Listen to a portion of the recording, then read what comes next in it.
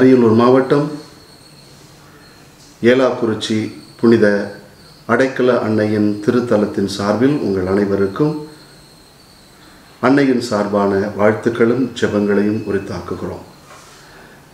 அன்பார்ந்த சகோதர சகோதரிகளே அரியலூர் மாவட்டத்தில் இரண்டாயிரம் ஆண்டில் ஏலாக்குறிச்சி புனித அடைக்கல அன்னையின் திருத்தலத்தை சுற்றுலா தலமாக அறிவித்திருப்பது மகிழ்ச்சியானது. அரியலூர் மாவட்டத்தில் இது இன்னும் ஒரு சிறப்பான புனித ஸ்தலமாக இருக்கிறது. வரலாற்று பின்னணி கொண்ட ஒரு திருத்தலம். இந்த இடத்துல கிறிஸ்தவர்கள் ஆயிரத்தி அறுநூற்றி முப்பதுக்கு பிறகு தஞ்சாவூரிலிருந்து இந்த பக்கம் வந்து அரியலூர் மாவட்டத்தில் குடிபெயர்ந்திருக்கிறார்கள். அவர்கள் இங்கு வருகிற பொழுது ஒரு மாதாவினுடைய படத்தோடு சிறு குடிசை விட்டு அதில் தங்கியிருந்திருக்கிறார்கள். அதனால் கிறிஸ்தவர்கள் இங்கு இருக்கிறார்கள் என்று கேள்விப்பட்டு புனித அருளானந்தர் வீரமாமுனிவர் இவர்கள் இங்கு தங்கி பணியாற்றியிருக்கிறார்கள். இந்த இடம் வீரமாமுனிவர் இருபத்தி ஆறு வருடங்கள் இங்கு இருந்தது. இங்கிருந்து மற்ற இடங்களுக்கு சென்று வந்தது. எல்லாம் வரலாற்று உண்மைகள். இங்கு இருக்கும் பொழுதுதான் தமிழ் இலக்கிய காப்பியமாகிய தேம்பாவணியை எழுதியிருக்கிறார். மொத்தம் இருபத்தி ஆறு புத்தகங்கள் இங்கிருந்து எழுதியிருக்கிறார். அன்னை அடைக்கல அன்னை என்று பெயர் சூட்டியதும் அவர்தான். அன்னையின் உருவம் இப்படி இருக்க வேண்டும் என்று வடிவமைத்ததும் வீரமாமுனிவர் தான் தமிழ் இலக்கியங்கள் எந்த சூழ்நிலையிலும் வீரமாமுனிவரை மறைத்து இருக்க வாய்ப்பே இல்லை. அப்படி வீரமாமுனிவர் இந்த இடத்தில் பணியாற்றியது தமிழ் இலக்கியத்திற்கு தொண்டு புரிந்ததெல்லாம் ஏலாக்குறிச்சி திருத்தலத்தை அடிப்படையாக கொண்டதுதான். இந்த திருத்தலம் வீரமாமுனிவர் இங்கு இருக்கும் பொழுது அவருடைய உண்மையான பெயர் ஜோசப் கான்ஸ்டன்டின் பெஸ்கி. இத்தாலி நாட்டைச் சேர்ந்த இயேசு சபை குருவானவர். அவர் இங்கு இருக்கும் பொழுது இது அரியலூர் மாவட்டத்தில் இருப்பதனாலே அரியலூரை ஆண்டு கொண்டிருந்த அந்த சிற்றரசன் அரங்கப்பம் மழவராய நயினாருக்கு முதுகில் ராஜப்பிளவை என்ற ஒரு கட்டி இருந்திருக்கிறது. பத்து ஆண்டுகள் சுகமாகாமல் இருந்த அந்த கட்டி வீரமாமுனிவரிடத்தில் வந்து ஒரு வாரத்திற்குள்ளே சுகமானது. அதுதான் மாபெரும் அதிசய உண்மை இங்கு நடந்தது. நீங்கள் பார்த்தீர்கள் என்றால் இங்கு வீரமாமுனிவர் பச்சிலை தேடி போகும்பொழுது பச்சிலை கிடைக்காமல் வெயில் காலத்திலே மதியான நேரத்திலே ஒரு நீரூற்று வந்தது. அந்த நீரூற்றை இவர் அன்னையினுடைய ஒரு அடையாளமாக இருக்கிறது என்று சொல்லி மண்ணையும் தன்னையும் குழைத்து அவருடைய கட்டியில் பூசி இருக்கிறார் பத்து ஆண்டுகள் சுகமாகாமல் இருந்த அந்த கேன்சர் கட்டி ஒரு வாரத்தில் சுகமாகி ராஜா குணம் பெற்றதனுடைய அடையாளமாக ராஜா மாதாவுக்கு என்று நூற்றி எழுபத்தைந்து ஏக்கரை எழுதி கல்வெட்டிலே கொடுத்த வரலாறு தான் இந்த திருத்தலத்தினுடைய வரலாறு. இப்பொழுது நீங்கள் பார்க்கிற எல்லாமே அன்னையினுடைய ஸ்தலங்களிலே இருக்கிறது ராஜா கொடுத்தது. அன்பார்ந்தவர்களே ஏலாக்குறிச்சியில் என்ன ஸ்பெஷல் அப்படின்னு கேட்டால் எல்லாரும் தெரிந்து கொள்ள வேண்டியது அந்த மாதா குளத்தினுடைய மண்ணும் தண்ணீரும். இன்றும் ஆயிரக்கணக்கான மக்கள் இங்கு வந்து அந்த மண்ணையும் தன்னையும் எடுத்து குழைத்து அவர்கள் உடம்பிலே பூசிக்கொள்வதனால் பல்வகையான நோய்கள் தீருகிறது பலவிதமான அற்புதங்கள் நடக்கிறது.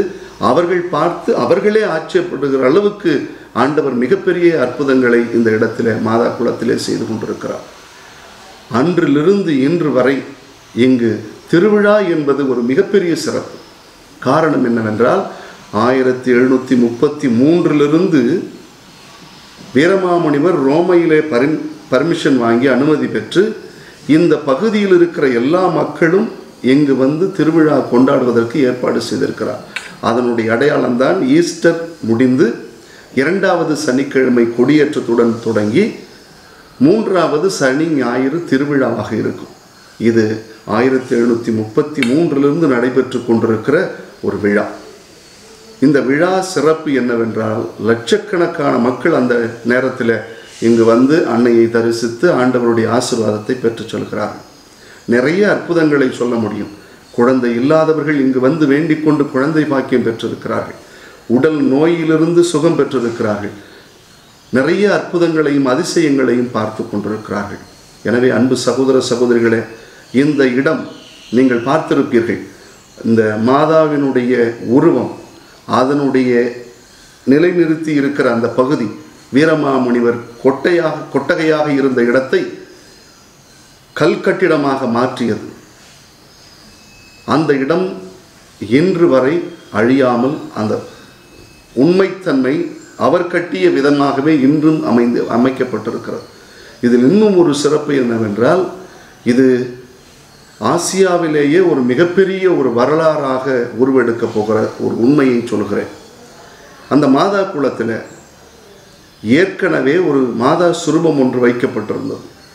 அந்த சுரூபத்தை எடுத்து அங்கே ஆழ்துளை குண கிணறிட்டு அதிலிருந்து தண்ணீரையும் மண்ணையும் எடுத்து மக்களுக்கு கொடுப்பதற்காக போர் போட்டிருக்காங்க.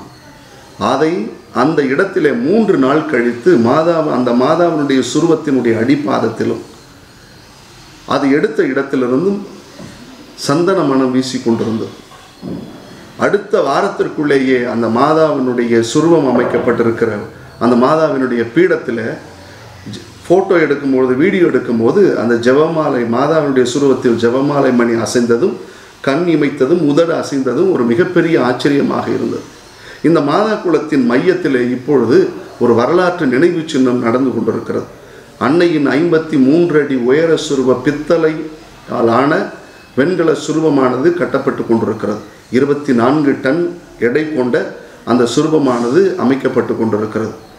அந்த மாதா குளத்தின் மையப்பகுதியில் அதை தொடர்ந்து அன்னையின் ஐம்பத்தி மூன்றடி உயர சுருவத்தை சுற்றிலும் ஜெபமாலை ரகசியங்கள் கட்டப்பட கட்டப்பட்டு கொண்டிருக்கிறது.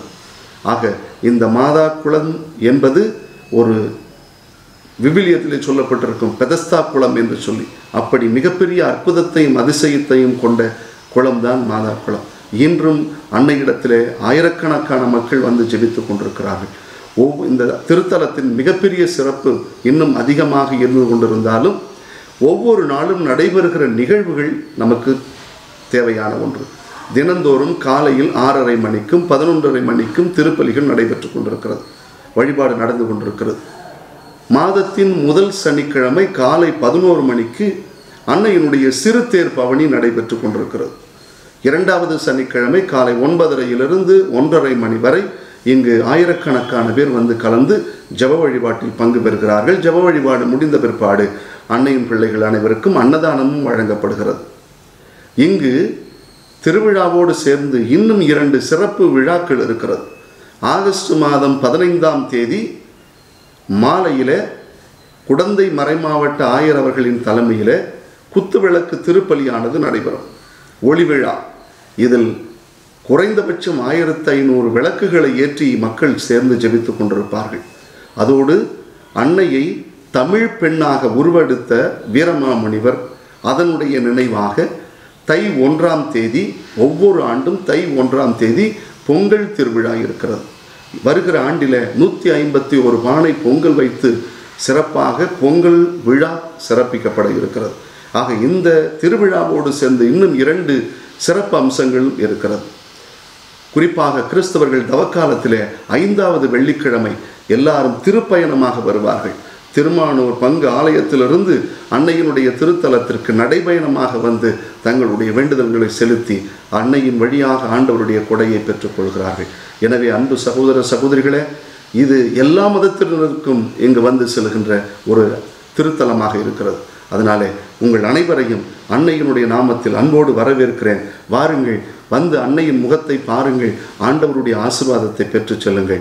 உங்கள் அனைவருக்கும் அன்னையின் நாமத்தில் மீண்டும் வாழ்த்துக்களையும் நன்றியையும் ஜபத்தையும் உரித்தாக்கிக் கொள்கிறேன். நன்றி.